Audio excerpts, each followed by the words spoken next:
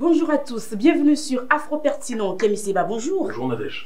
Il a dirigé le Burkina Faso pendant 4 ans, 4 années au cours desquelles il a fortement marqué son pays et tout le continent. 33 ans après l'assassinat de Thomas Sankara, puisque c'est de lui qu'il s'agit, où en est l'Afrique francophone, Kémy Seba? Ma très chère Nadège, la première chose que l'on peut dire, c'est une question vaste qui nécessiterait des heures et des heures, quelque part, pour pouvoir résumer la situation dramatique, chaotique dans laquelle se situe, en ce début de XXIe siècle, l'Afrique francophone. Beaucoup de zones d'ombre, mais aussi quelques axes porteurs de lumière. On va commencer par l'ombre, l'obscurité, commencer par le négatif pour finir par peut-être quelque chose qui est un petit peu plus positif. Le négatif, si on pouvait le dire ainsi, c'est que 33 ans après l'assassinat de Thomas Sankara, on considère et on constate déjà pour commencer que ces assassins sont aujourd'hui libres comme l'air. On est dans un monde, normalement, où quand on assassine quelqu'un, l'assassin est arrêté, condamné, jugé, condamné et purge sa peine. Aujourd'hui, l'assassin, ou l'un des commanditaires, ou en tout cas l'un des bras qui ont contribué à faire assassiner Thomas Sankara, je dis bien à le faire assassiner, vit dans une villa 5, voire 6 ou 7 étoiles en Côte d'Ivoire, et il se nomme Blaise Compaoré. Et je le dis droit dans la caméra parce que j'entendais euh, mon, cher frère euh, Roch Marc Caboret, président du Burkina Faso, lorsqu'on lui posait la question sur les assassins, être très elliptique, faire des circonvolutions radicales pour ne pas avoir à pointer du doigt la responsabilité de Blaise Compaoré. Tout le monde sait que Blaise Compaoré est l'un des premiers responsables de cette situation et il faut qu'on ait le courage de le dire. Et moi, je le dis. Parce que nous n'avons pas peur de quelconque attaque. Nous sommes déjà en sursis dans notre vie. Et donc, par conséquent, il faut qu'on soit capable de rendre hommage à notre aîné qui a été assassiné par son frère et par les alliés, les camarades de son frère. C'est le drame de notre peuple. À chaque fois, on se bat contre une force extérieure et on doit toujours surveiller notre dos parce que derrière nous, celui qu'on a aidé, qu'on a logé, qu'on a nourri, peut être le premier qui peut contribuer à vous assassiner. C'est une histoire humaine, certains diront, mais je dirais avec plus de précision que c'est une histoire africaine. Parce qu'en Afrique, la jalousie tue plus que le coronavirus. C'est important qu'on puisse le dire. Donc on a Blaise Compaoré, qui vit dans sa villa 5-6 étoiles, qui mange à checker à volonté, pendant que le martyr de notre peuple, Thomas Isidore Sankara, aujourd'hui, a transité. On a en ce début de 21e siècle, quand vous me dites 33 ans après la mort de Thomas Sankara, où est-ce que nous en sommes On a, et c'est le constat qu'on peut tirer, un camp qui a fini par gagner sur le terrain institutionnel. Auparavant, il y avait une bataille idéologique entre le camp des Lumumbistes, des Sankaristes, Lumumba d'abord, des années bien évidemment avant, et Sankara qui a repris le flambeau, qui n'a jamais caché à chaque fois son admiration profonde pour Patrice Emery Lumumba, d'accord? Et de l'autre côté, le camp des oufouettistes. Le camp a gagné sur le terrain institutionnel, puisqu'aujourd'hui, tous les dirigeants d'Afrique francophone, je dis bien quasiment tous sans exception, ont préféré le développement sous assistance respiratoire de la mamelle d'Occident. La mamelle d'Occident qui, qui investit clairement dans nos pays, donc assistance respiratoire, mais qui se sert dans nos pays de manière démesurée par rapport aux ressources minières de nos États. Et donc on est très loin de la souveraineté alimentaire dont parlait Thomas Sankara. Certains ont préféré quelque part le développement dans son acception occidentale des choses. On vous dit développement.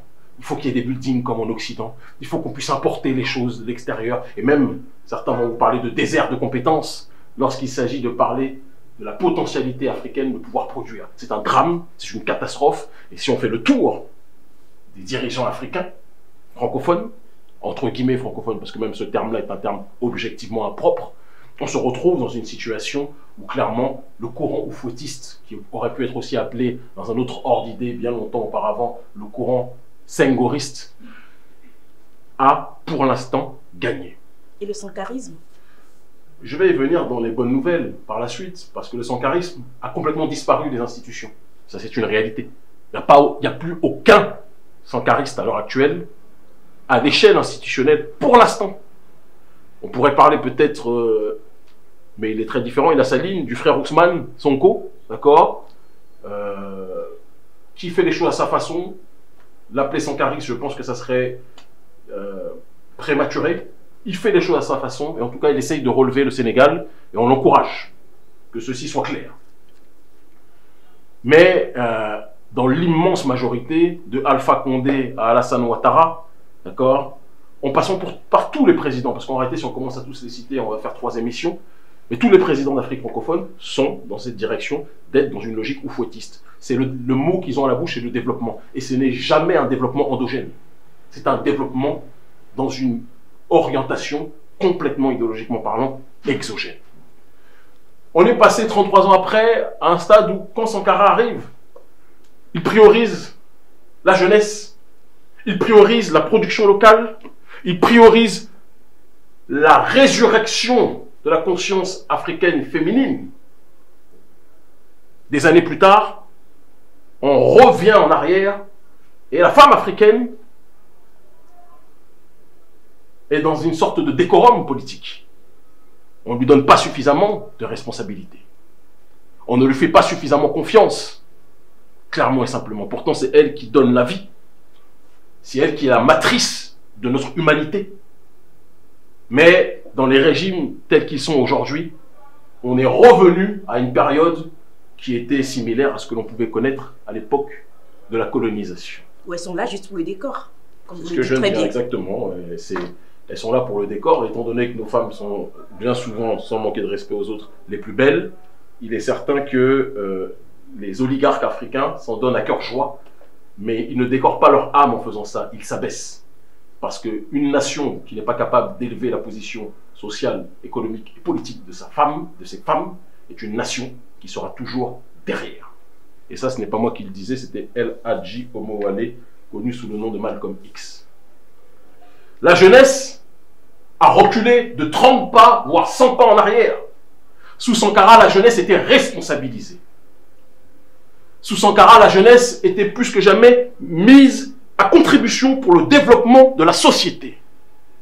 Aujourd'hui, la jeunesse risque sa vie, risque de, passer par la Méditerranée pour arriver en Occident et finir dans une région où objectivement, aussi bien métaphysiquement, comme le disait René Guénon, que physiquement, comme je le dirais, c'est le chaos véritablement pour l'être humain dans son ensemble. Une jeunesse qui est capable de risquer sa vie en traversant la Libye. Et là-bas, il n'y a pas d'alibi. Quand vous êtes noir, vous êtes considéré comme un sous-homme par les gens là-bas. Depuis qu'ils ont assassiné le grand, quelles que soient les critiques qu'on puisse lui apposer, Muammar al-Kadhafi. Une jeunesse qui auparavant, sous Sankara, était porteuse d'espoir et se disait que si un jeune homme noir est capable de prendre des responsabilités, je ne dis pas en tant que chef d'État, parce qu'à l'époque, le chef d'État, il arrivait par le biais d'un coup d'État, les choses ont été favorisées, il est rentré, je ne pense pas qu'il aurait pu obtenir une place s'il était passé par le biais, euh, comment dirais-je, électoral tel qu'on le connaît. Mais peu importe, lorsqu'il est arrivé au pouvoir, il a pris ses responsabilités et il a enclenché une révolution culturelle, intellectuelle et politique, bien que militaire, dans le pays. Mais aujourd'hui, cette jeunesse est laissée à l'abandon. Cette jeunesse vit sur un banc nord massif, mais elle fait la manche. Parce qu'elle agit tel un aveugle, qui ne voit même plus les richesses dans lesquelles elle est, puisque les richesses sur lesquelles elle est assise sont livrées à l'oligarchie occidentale, je dirais même pas au prolétariat, même si le prolétariat occidental en profitera toujours plus que le prolétariat africain, mais surtout à l'oligarchie occidentale, disons les choses. Mais que nous, jeunesse, nous ne voyons pas ces richesses. Et donc nous sommes dans une situation où le vestige de la dimension politique de Thomas Sankara a été complètement, et je pense qu'on peut le dire,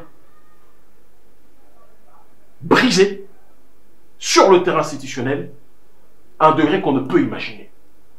On est 33 ans après la mort de Thomas Sankara dans des pays où bon, les viols de constitution sont plus que jamais présents. La plupart des présidents vous disent qu'ils se présentent pour deux mandats. Et puis lorsque le troisième arrive, même s'ils ont 150 ans comme Alpha Condé, euh, non, peut-être c'est un petit peu moins, il faudrait que je vérifie, mais ils sont toujours là.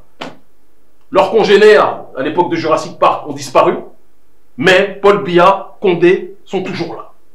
Son carré est mort jeune. Et parfois, il est triste que les meilleurs partent les plus tôt et que les pires restent les plus longtemps. On est dans une période où les aspirations du peuple sont brisées. Certains me diront que c'est valable dans d'autres endroits du monde. Ce n'est pas aussi spectaculaire que sur le continent africain. Parce que le continent africain est un enjeu géostratégique, géopolitique tellement puissant que toutes les multinationales et que toutes les oligarchies occidentales sont prêtes à tout pour maintenir à la tête de nos pays des gens qui se moquent de l'avenir de leur peuple.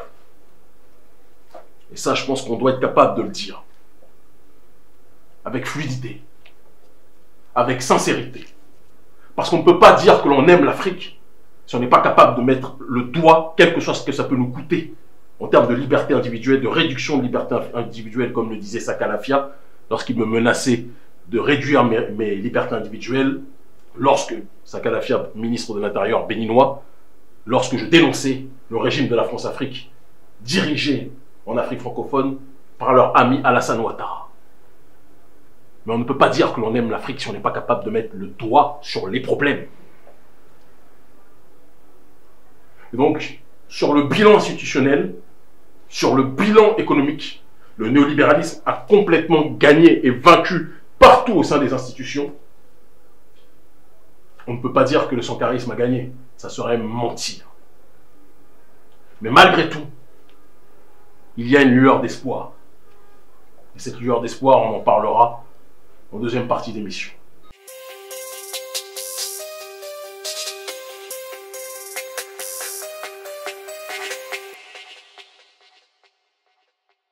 33 ans après l'assassinat de Thomas Sankara, les régimes corrompus, autoritaires, voire dictatoriaux, sont toujours à l'ordre du jour, comme vous le dites si bien, Kemi Siba. Ils sont toujours plus que jamais à l'ordre du jour. C'est moins que l'on puisse dire, ma chère sœur Nadège. Je nuancerai par contre la terminologie que vous employez lorsque vous utilisez le concept de dictature. Je me méfie des termes tels que ceux-ci qui bien souvent sont accolés à des dirigeants qui peuvent ne pas toujours arranger l'oligarchie d'Occident et qui ne correspondent pas toujours à la vérité. Sankara était considéré comme un dictateur par l'oligarchie occidentale, on ne le dit pas assez. Kadhafi était considéré comme un dictateur par l'oligarchie occidentale, on ne le dit pas assez. Et donc parler de, de dictature en tant que telle n'est pas ce qui, moi, me préoccupe réellement. Démocratie, dictature aujourd'hui sont des termes qui sont périmés par rapport à la réalité contextuelle africaine. Nous, nous parlons de souveraineté populaire. Nous parlons de la nécessité pour le peuple de se faire entendre. Je prends l'exemple de ce qui s'est passé au Mali récemment. Il y a eu ce qu'ils appellent un coup d'État, qui était en réalité un coup de pied aux fesses contre Ibeka. Un coup de pied aux fesses émanant du peuple malien. La CDAO, le gang de la CDAO, parce que c'est devenu un gang aujourd'hui. Les gens qui siègent à la CDAO sont des gangsters. C'est comme ça qu'on appelle les gens membres d'un gang. Un gang politique.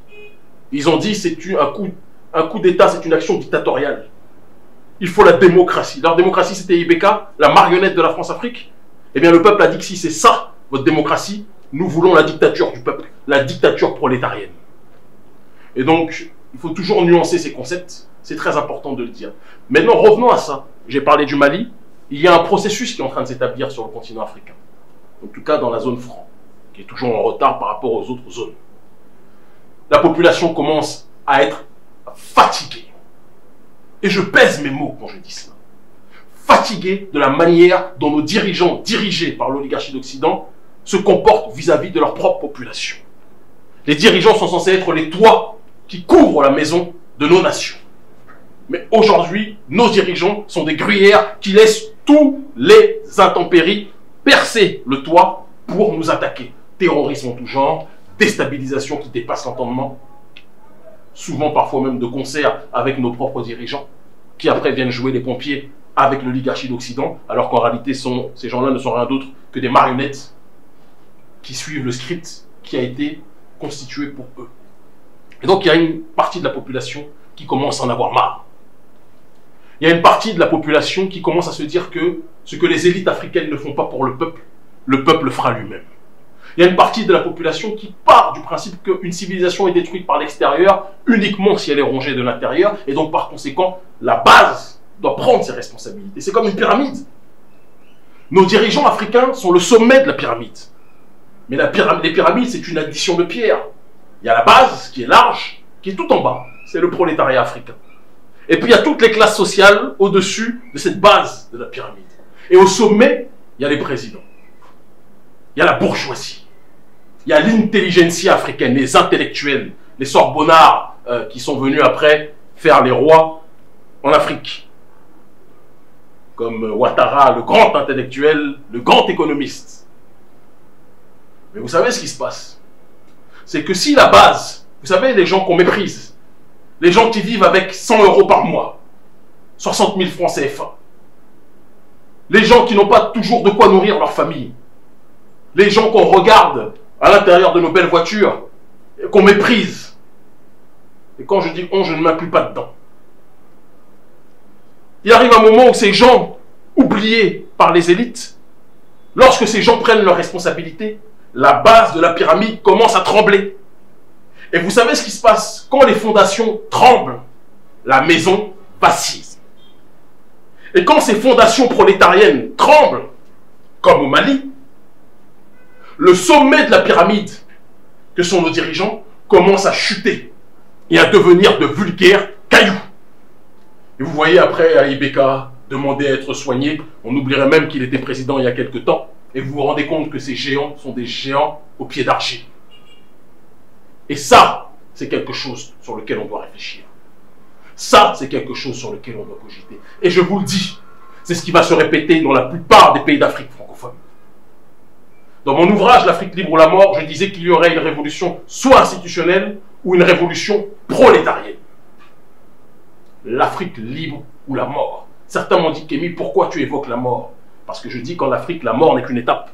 Et que mieux vaut mourir en se battant pour un idéal et un objectif de relever notre peuple que vivre en mourant, comme nous le faisons trop souvent, pendant que nos élites se gargarisent sur le dos de nos peuples. Et donc il y a une jeunesse qui prend ses responsabilités. Une jeunesse qui peut avoir ses antagonismes. Il y a Urgence Panafricanisme, mon ONG, qui dirige le Front anticolonialisme français en Afrique, qui je pense fait un travail important. Il y a des mouvements comme Il y en a marre, avec lesquels j'ai pu avoir des désaccords, mais j'étais très touché récemment du propos euh, de mon frère Malal, fou malade, qui, a, rendu hommage au travail politique qui est le nôtre. Et je lui rends hommage en retour, malgré les désaccords stratégiques que nous avons pu avoir. Chacun se bat selon un logiciel, mais chacun essaie de s'organiser pour que les choses avancent pour nos populations.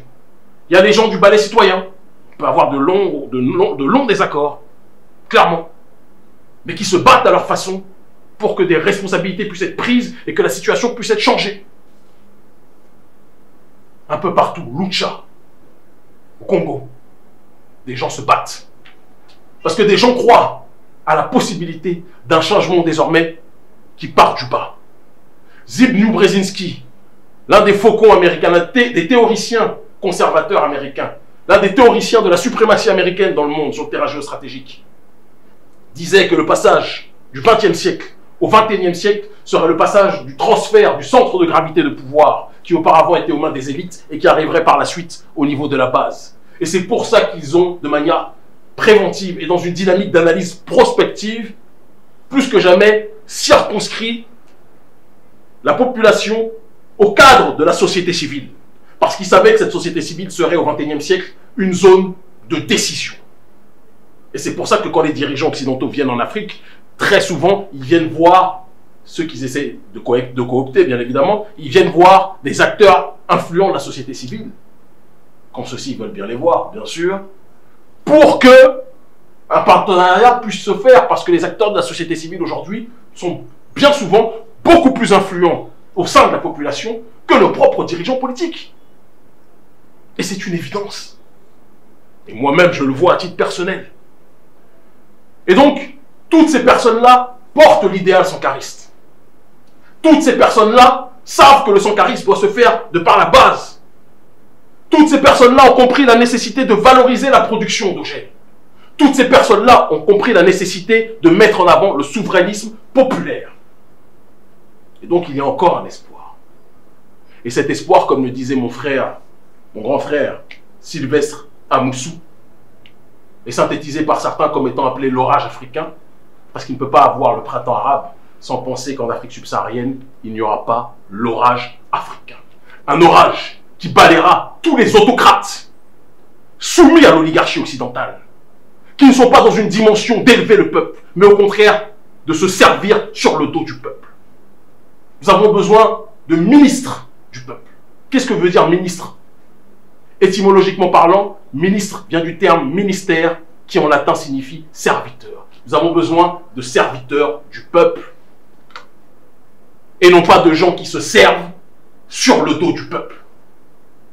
Et ce message s'adresse à tous les dirigeants d'Afrique francophone. Tous, sans exception.